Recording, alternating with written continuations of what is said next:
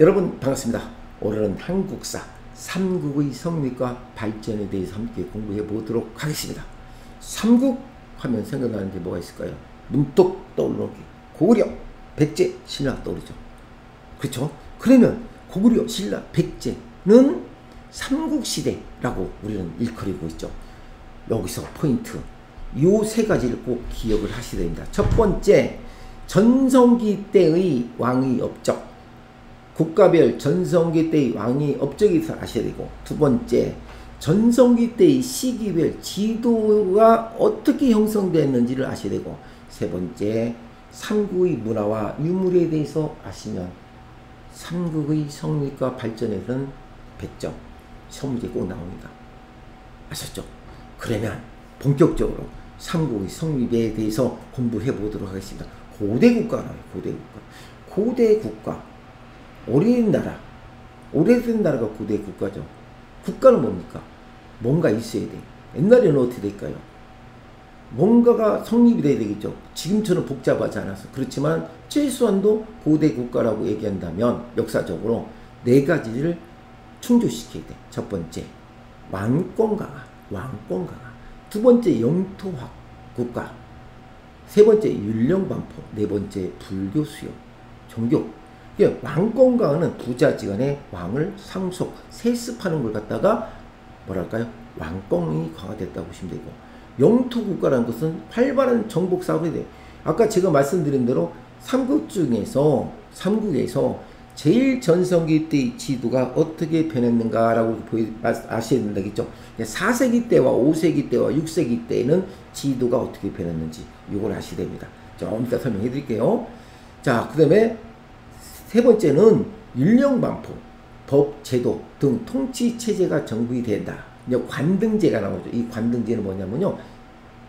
요즘 말은 공무원 9급, 8급, 7급, 6급 이걸 갖다가 관등제를 하고 시되고 관복은 오시고 신분제는 그에 따른 신분이 있을 것이고 이것이 율령 반포를 통해서 국가의 조건이 만들 성립됐고 마지막으로 네 번째는 종교 불교를 수용하만 수용을 해야만이 어떻게 될까 국가의 조건이 성립됐다라고 보시면 되죠 왕권 영토가 율령 제도가 있어야 돼 종교가 있어야 돼 이 네 가지 성립한 것이 고려 백제 신라라고 보시면 되겠죠. 그렇죠? 삼국시대는 기원전 1세기부터 7세기까지 고려, 백제, 신라, 삼국이 위쪽 만주와 아래쪽 한반도의 일대에서 중앙집권적 왕이 국가로 발전한 시기를 우리는 삼국시대다라고 보면 되겠죠. 신라와 당나라 연합군에 의해서 백제가 660년, 고구려는 668년에 차례로 멸망하게 되죠.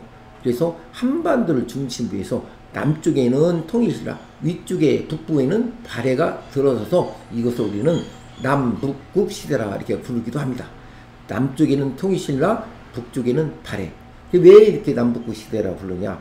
국, 중국에서 고려와 발해를 자기네 땅이라고 자기 민족이라고 우겨요. 천만의 말씀이죠. 고구려는 우리의 우리 민족의 조상이잖아요. 그래서 우리는 과거의 통일신라 시대라고 불렀던 것을 남북 시대로 바뀌었다라고 여러분은 생각하시면 되겠죠. 그렇죠? 자, 다음에는 순서, 국가의 발전 순서가 나옵니다. 어떻게 될까요? 군장국가, 뭐 군장국가 조그만 맨 처음에는 어떻게 될까요? 그 시족의 대표들이 모여서 모여서 우리 구석기, 신석기, 청동기, 철기 시대에 지나면서 어떻게 됐어요? 조금씩 시족끼리 모여고 또 모이다 보니까 자기가 또 불악이 만들어지고 또 만들어지다 보니까 어, 대표를 뽑아야 되겠어 쉽게 말하면 족장을 뽑아야 되는 거죠. 그렇죠? 어, 그 족장을 뽑으려면 이런 족장들을 뽑아가지고 나라는 아니야. 나라는 아니고 그냥 대표자만 뽑아가지고 뭐 싸움도 안 했어. 이런 걸 갖다가 군장 국가를 합니다. 그냥 자기네끼리만 잘 먹고 잘 살았어. 다른 거 신경도 안 썼어. 그냥 군장 국가를 하죠. 그리고 나서 연맹국가를 바뀝니다. 연맹국가. 연맹국가라는 것은 방금 말씀드린 대로 똑같아요. 연맹국가는 고구려, 백제, 신라. 나라가 형성된 것을 연맹국가예요. 그래서 백제와 신라가 연맹을 맺어서 고구려의 남하 정책을 막았다. 뭐 이런 것들, 연맹국가가 나라 라고 보시면 되죠. 중앙 집권 국가는 중앙에 왕이 있어가지고 그냥 집권하는 그런 것을 어떻게 말할까? 아, 중앙 집권 국가라고 보통 되죠. 그때 당시 왕이 세습을 했죠. 아버지가 왕이면 아들도 당연히 왕이었다라는 걸 계속 역사를 보면 그런 것이 눈에 보이죠. 자, 또 중앙집권 국가 체계의 기틀을 마련 순서. 중앙집권 국가 체제의 기틀을 마련 순서는 첫 번째 고구려가 있었잖아요. 우리는 부위에서 어떻게 돼? 고구려가 어떻게 됐어요? 만들어졌잖아요. 아시죠? 고구려 만들어진 과정은 여러분도 잘 아시죠? 어, 이제 좀 이따 이제 나오겠지만은, 어, 삼국 사기와 삼국 유사를 통해서 나오겠죠. 부위에서 고구려가 만들어졌어요. 고구려 먼저 중앙집권 국가였고, 그 다음에 백제, 그 다음에 신라 순서였다라고 했죠. 번성기도 4세기 때는 백제, 번성기는 틀려요.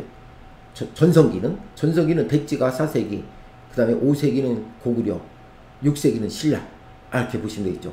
중앙 집권 체제는 고구려, 백제, 신라였지만, 고구려, 백제, 신라 중에서 제일 전성기였던 것은 백제가 먼저 4세기였고 400년대, 고구려는 500년대, 신라는 600년대. 그러니까 4세기, 5세기, 6세기, 1세기는 100년이라고 했으니까. 그죠? 이렇게 보시면 되죠. 자, 그러면 아, 삼국 형성 과정을 잠깐 보시겠습니다. 삼국 형성 과정은 다음 시간에 함께 해보도록 하겠습니다. 안녕히 계십시오. 계속해서 구독과 좋아요를 누르시면 제가 올라온 영상을 여러분께 알람 설정 되어주시면 더 좋겠습니다.